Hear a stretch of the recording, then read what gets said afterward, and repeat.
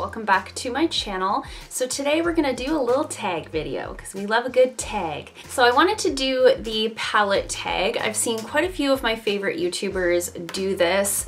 Um, I've seen Kelly Gooch do this, Jessica Braun, um, Hannah at Smoky Glow. If you can hear a lawnmower in the background, it's my husband mowing the lawn. So I'm gonna probably put a little bit of background music in to hopefully cover that up, but it is what it is. We're filming when we can. So there's a few questions. The original creators of this tag are Samantha March and Allie Glines. I will link their videos in the description box down below and I will also list all of the questions in the description box down below if you feel like you want to answer some of these questions. I'd love to hear from you guys in the comments. If you have a YouTube channel, I'd love to see you do this video. I'm tagging you. So if you do, tag me, um, tag me on Instagram, send me a DM, something like that. I'd love to see it. Um, so let's just dive into the questions. So the first question is, show your newest palette. So I actually have two that I got at the same time. I got the Hello Charmer BoxyCharm palette in, I think it came in the February box. I actually haven't gotten a palette from BoxyCharm since then, I've been opting more for skincare when I have the option, but I got this palette in a BoxyCharm. It actually arrived while I was in Cuba. I do really like it. It's in my current Shop My Stash. I've been enjoying it a lot. And the other palette that I got at the same time is the Anastasia Riviera palette. Um, so one of my best friends, Kate, bought this for me at Marshall's. Marshall's? I think it was Marshall's. She'll correct me in the comments if I'm wrong, but she picked this up for me. It was so sweet. So actually when we went to Cuba together, um, when I arrived at her place in Halifax, uh, she had this there for me. So I ended up bringing it with me to Cuba, even though I hadn't planned on bringing it with me to Cuba. I love this. It's also in my Shop My Stash right now, so I've really been enjoying it. I've been doing lots of fun, colorful looks, especially now at work where I'm wearing a mask some of the time. Um, it's been really fun to just play around with color. So I've really been enjoying that a lot. So those are my two newest palettes. The next question is show your oldest palette. So I have two that are embarrassingly old. So I bought these way back in the day at a trade show when I first started doing aesthetics. Um, and they look like this. They're these huge 88 color palettes. This is one and this is the other one.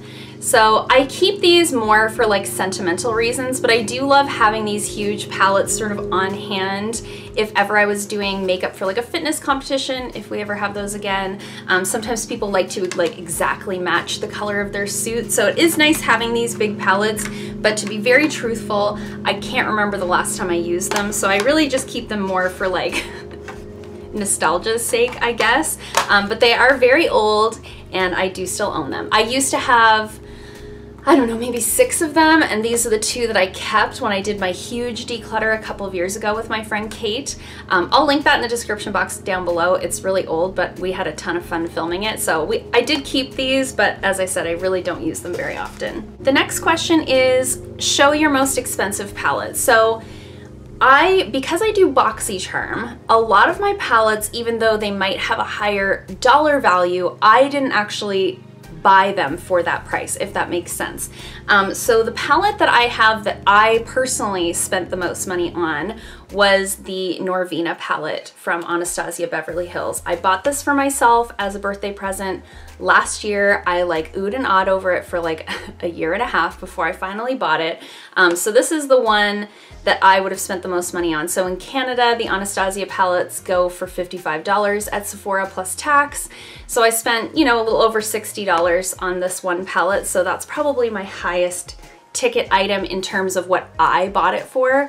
And again, I have other palettes that I was gifted or I got through BoxyCharm, but as far as me spending my own dollars, this would be the most expensive one that I have purchased. Next is show your most affordable palette. So this is the e.l.f. Mad for Matte eyeshadow palette in Nude Mood. And it looks like this.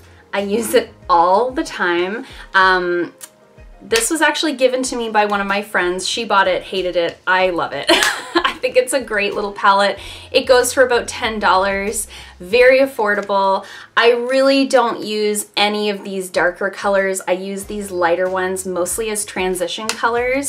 So I do love this palette. It's only $10. It's very, very affordable. The next question is show your everyday palette. So this was a little bit challenging for me because I really use different palettes all the time. I do shop my stash. I always have a couple of palettes that I'm working from more for a couple months at a time, but I do often use a different palette every day. So it's hard for me to pick an everyday palette, but in terms of like an everyday sort of regular look, I had to go with my I had to go with my Violet Voss Holy Grail palette. This palette is just so it is the perfect everyday palette. You can create any look from just super natural no makeup makeup to a more natural smoky eye. The colors are very neutral. There are some warm tones in here and some more cool tones, but in general, I get a very everyday look when I use this palette. And I also use this one a lot for bridal makeup, for prom. It's just a very nice, like soft, palette that just works really well. I can always count on it. I know what kind of a look I'm gonna get when I pull this palette out. So I thought this was sort of the best option in terms of choosing an everyday palette, even though I don't ever use the same palette every day. The next question is show your most colorful palette. So of course I have those 88 color palettes that I just showed you as my oldest palettes. Those are certainly my most colorful in terms of having the biggest variety of different colors.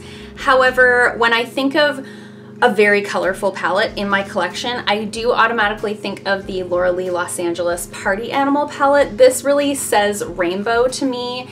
It's very vibrant. There's nothing neutral in there. It is like a rainbow palette. So this was the one that sort of came to mind when I thought about that question. I don't use it very often, but I just think everybody needs to have a little rainbow palette in their collection.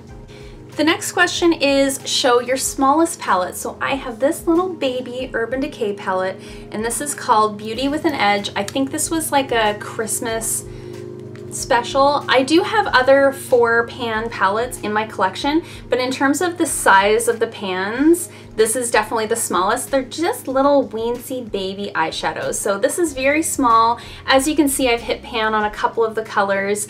Um, I have resisted decluttering this so many times. I don't know why. I just think this color called Derailed is so unique. It's like a metallic taupe. It's so different and pretty. So this is definitely the smallest palette um, as far as like grams of eyeshadow, if that makes sense. The pans are really small. There's only four colors. Um, it doesn't take up a ton of room in my collection. It would take up even less if there wasn't a spot for, I think there was little mascara in there. I can't remember, it's been so long. Anyways, this is my smallest palette in my collection. The next question is, show your biggest palette. So Again, I have those 88 color palettes that have the most color in them. I have some big ColourPop palettes. That Holy Grail palette is pretty big. But in terms of a footprint, because I stack my palettes like this on the shelf down here that you can't see, um, in terms of footprint, the Storybook Cosmetics Little Briar Rose palette definitely has the biggest footprint. Because I stack them like this, this one takes up the same space as like three palettes of like a normal size because even the ones that are big this way are still thin this way. So this one's definitely like the bulkiest monster in my collection. It is a beautiful palette. It's stunning, the colors are beautiful, everything in here works really well. This to me is so much like a collector's item because it just, I don't know, the storybook element really speaks to me. I do love the princesses and Sleeping Beauty specifically was like one of my favorite fairy tales growing up. So this has got to be the biggest palette in my collection. The next question is show your palette with the best memory. And I would have to go with my little MAC quad. This is a self-made quad. I bought this for my wedding. So when my husband and I got married, I decided I was going to do my own makeup for obvious reasons. So instead of paying someone to do my makeup, I spent the money that I would have spent on a makeup artist and I bought myself some new things specifically to wear on my wedding day because I wanted something that really felt special. So I went to the MAC store, I picked these colors out specifically, and every time that I wear these, I just think of my wedding day and I, I just loved my makeup. I thought it looked so beautiful and I felt I felt like my very best self that day. So this is definitely I'll never part with this even if I stopped using it, which I don't. I do use it quite often. Um, but this one's just really, really special. It has some great memories attached to it. So my little MAC quad. Okay, so the next question is, show a palette worth the hype. So I don't know if you guys remember when e.l.f. first started doing palettes in this format. This was the first one. So this is called Opposites Attract.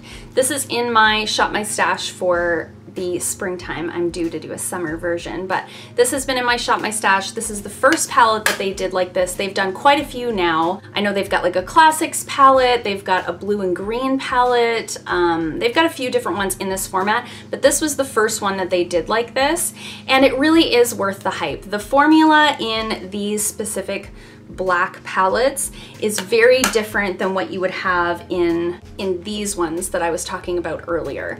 Um, so this is definitely worth the hype. It was sort of the beginning of a new generation of e.l.f. eyeshadows. Now they've got those little bite-sized eyeshadow palettes. I'd love to get one of those and try it. I haven't been able to get my hands on one, but this was definitely worth the hype and I think there's a reason why they've sort of gone this way kind of going forward.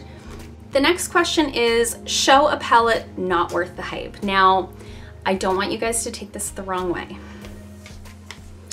I do love Tati, and I love this palette. Don't get me wrong, I did a whole dedicated video on it. I'll link that in the description box down below. However, I don't use it as much as I thought I would. This is what it looks like. It's very beautiful. It's a good, again, a good sort of everyday palette in terms of the color story, um, easy to work with, all of that. I have nothing bad to say about the palette. However, I really got sucked into the hype with this one. I can remember booking my clients around the release of this palette. I was so excited. I was like hyperventilating ordering it. I was just beside myself. I'm a huge Tati fan. I've been a huge Tati fan for many, many years. Um, and I really get sucked into the hype. So did I need this as badly as I thought I did? No. There's nothing in this palette that I couldn't create with other palettes that I already own, but I just felt like I needed this. There was so much hype around it. It was so exciting. I knew it was gonna sell out and I just got sucked into that whole like FOMO thing. So even though I love this palette, I don't necessarily think that it was worth the hype that was surrounding it or that I had built up surrounding it. So this is a palette that wasn't really worth the hype. I hate to say it. Um, next question is show your favorite palette from a favorite brand. So one of my favorite brands is ColourPop. They do so many things so well. I love their eyeshadow formula. I love their uh, Lippie Stix formula, the Super Shock shadows. They do so many things so well. But this uh, So Jaded palette is just amazing. This is everything. It is one of my absolute favorite palettes. It's very large, but I there's so many different color stories going on in here that I don't feel like there's any wasted space. You know, sometimes you see big palettes and there's just a lot of repetition. You see that a lot with like Morphe palettes. There's a lot of repetition where you feel like you could have really condensed that down to like nine pans and had a very similar color story. With this, every color is just doing something special and you can do so many different combinations. Every single shadow formula in here works. I don't use the pressed glitters terribly often, but I do like having them in there because there's only two. I'm glad that there's not like a whole row of them like in the Tati palette. I don't use them enough for that to be like a dedicated row. Um, I love that they put a Super Shock shadow in here. I think that's the first time that they had done that. Now they're doing that quite a bit.